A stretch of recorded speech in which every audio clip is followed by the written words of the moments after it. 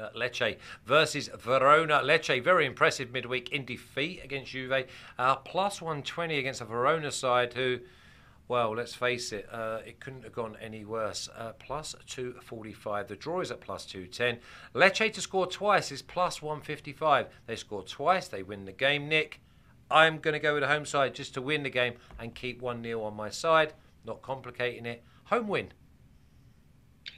I think you are a brave, brave soul to do that, and I get it. They did look pretty good against Juventus, uh, but I don't want to put too much stock into just the one match, especially because Verona, who's been playing very, very well defensively uh, since the World Cup break, and you know I was on the under in that match, and of course they that was over really quickly against Inter, six goals allowed.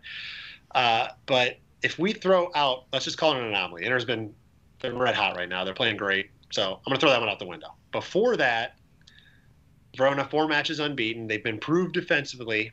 They allowed just three goals in those four matches. Again, yes, I know they just allowed six. Uh, 1.03 expected goals per 90 minutes. Since the World Cup break, again, throwing out that end result, they've allowed more than one goal just twice in 17 matches. Kept five clean sheets, averaged just 1.15 expected goals per match. Before the World Cup break, they allowed two goals 10 times in 15 matches, didn't keep a single clean sheet and averaged 1.52 expected goals allowed. And yes, they conceded six goals on over three expected goals to Inter on Wednesday. But is Lecce Inter? I mean, obviously not. So I'm not worried about that. I don't think they're going to get the quality chances that uh, Inter were able to. I don't think they're necessarily going to finish the chances if they do get anything. Uh, Lecce have one win in their last 10. They've scored just four goals in those 10 matches, never more than one in a match. They were held scoreless six times on the season, late Lecce, like Torino, have never scored more than two goals in any match. And in a very wild twist, they've not allowed more than two goals in any match. But the under here is set at two, so I think it's a little low. Uh, so, like I like to do when I think it's going to be tight and low scoring, I like to take the head start. Rona plus a quarter of a goal, minus 110 right now. I think if they get one, I don't see Lecce scoring two, so I think that'll be enough to at least give us a half win here. And I just I just don't see a lot between the teams, so I'm just going to take the head start. Okay, so my thought process here, Nick and Amina, is that my whole season, if I'm a Lecce player, comes down to this 90 minutes because I can put in what seven point gap between myself and the team that are third from bottom, which which means there's only three games to go, four games to go, right? But Verona are going to have to win at least three of them to catch me. So for me, Lecce go all out. They're as brave as lions, and at plus 120 for a side that I think gained something in defeat, Mina, against Juve. I think that they felt that they more than matched them. They kept going, and that's a massive thing because Verona, they didn't keep going. No. Yeah, I mean, the thing is with this is that like Inter are just much better going forward than Juventus are. I mean, let's be honest with you, Juventus has has been atrocious. They're just very clinical, but they don't actually know how to dominate the ball. They don't know how to control the game. So what Inter do is that they have like one like three chances, they make one count, and that's how they usually win the games. And what they do is very much like a Trojan horse. They lull you into a false sense of security. So that you end up playing as badly as they do.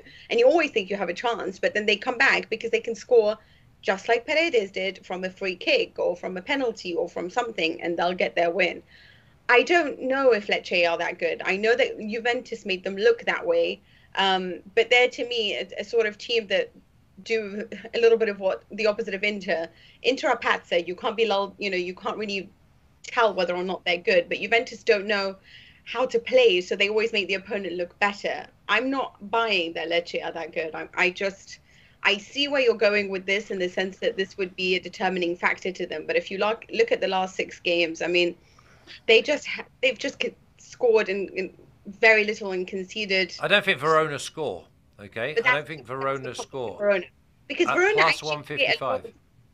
Yeah, Verona creates so many chances, but they've only scored eight goals away from home. The entire season, they've scored yeah. eight goals away from home. So for me, this is a draw. Um, I don't know how to split them. I'll be honest with you. I think that they're both, on paper, just two very, very bad teams. Uh, I actually think Verona is a better team. Um, uh, they've unfortunately just shown that side of them a little bit too late. But I think they've started to get something of an identity.